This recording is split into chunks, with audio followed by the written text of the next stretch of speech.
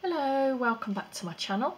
I've got six little mini booklets, possibly mini journals, I'm not really sure what to call them, um, just to go through with you today. They are used making, um, using inspiration from Firefly Studio 67, Gi Kerr and uh, Natasha at Treasure Books. I'll link them all down below who've given me inspiration for this and this is actually using all of their ideas in one. So the first thing is the printables are from Gi Kerr Happiness in Crafting. They're all initials. She also has numbers, ampersand and um, like a blank frame so you can layer up these if you wanted to.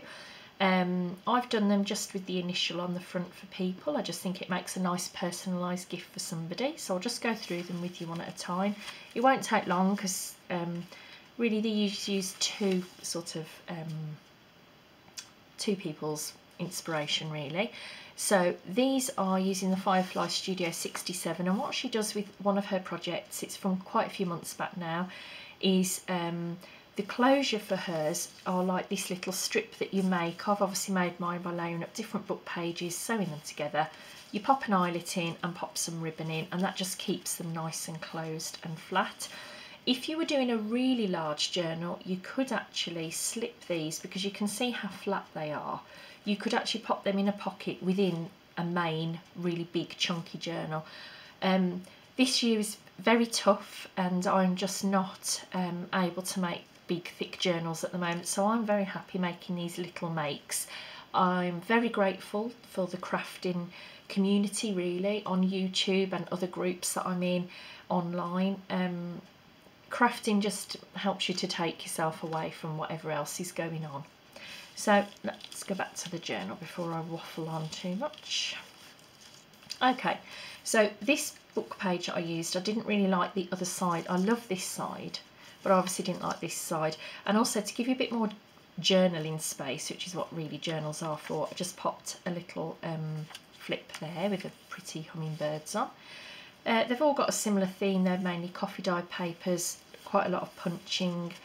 I love this paper with the petals in it.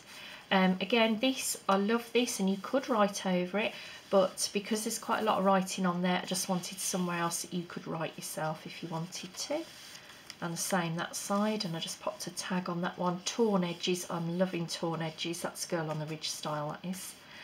Um, and Kylie Coo actually. Uh, there's a few printables in here. I've tried to keep the printables to a minimum and just using um, papers that I've got. This is a snippet roll. I happen to have it was in my sight of uh, line of sight. And I just thought oh that goes well with that. So I popped it there just for a bit of decoration Pop that again just so you've got more journaling space instead of all over this writing.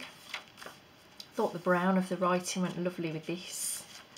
And this, I'll just pop that there just for a bit of decoration really. I think when journals are like this, you just feel more inspired to write in them. There's not this great big white page daunting. Because again, I didn't like this back cover here. I just popped a book page fold on there, pocket, made a faux library card just to tuck in there so you've got lots of journaling space there again. So that's that one. I'm going to stick with the Firefly Studio um, ones that I've done. This is another one. I've only got a little bit of this seam binding left. I'm really sad because I do love it. I've crinkled it up. Um, but it's the same sort of style. This time I've used Edith Holden as my book page. Popped a little strip around there. And then as we go in here, again, it's just um, different colours, pages, uh, papers, punched, things I've coffee dyed, handmade paper one printable again on coffee dyed. And again you tend to see more in the middle of this one the layering that I'm going for. Again just having layered papers different sizes different colours. I just think it's quite inspiring and you're happy to write on it.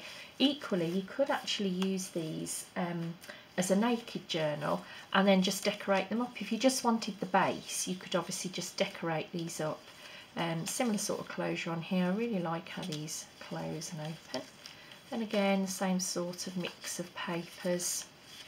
There's the printable in this one, that's a Gi Kerr one.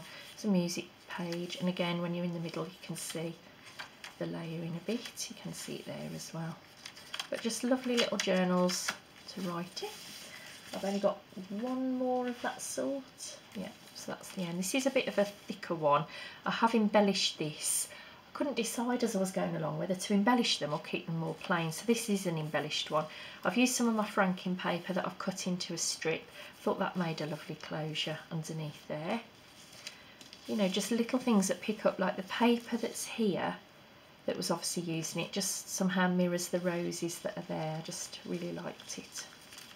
Um, this is a Roxy Creations printable that I've got. Um, so I've done some stamping on that one and just popped that there just so that that matches this. Again, layers, different size papers, don't keep them the same. Book page there with a dark pen, you can easily write over that or maybe you just want to pop something on the label. Um, I've done a flip out here for more journaling. Here, kept that page as it was, thought that was quite pretty. Did not like the centre of this at all, so I've just covered it with two journaling cards that you can write on there, and I think that will make a lovely centre. I also think that keeping this page, I just think all these little bits of greens and orange, they all just match really, which was chance. I didn't sort of plan it that way. Uh, I did cover the book page outside with this because I just thought that gave you lots of writing space.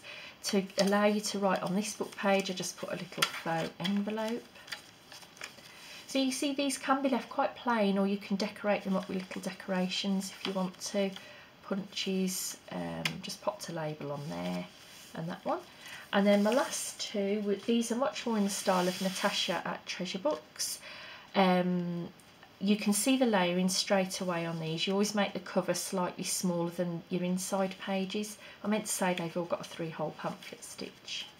Sometimes I tie them on the outside and sometimes you can't see on there anyway but these are tied. Let's have a look. These are tied on the inside. That's the only difference.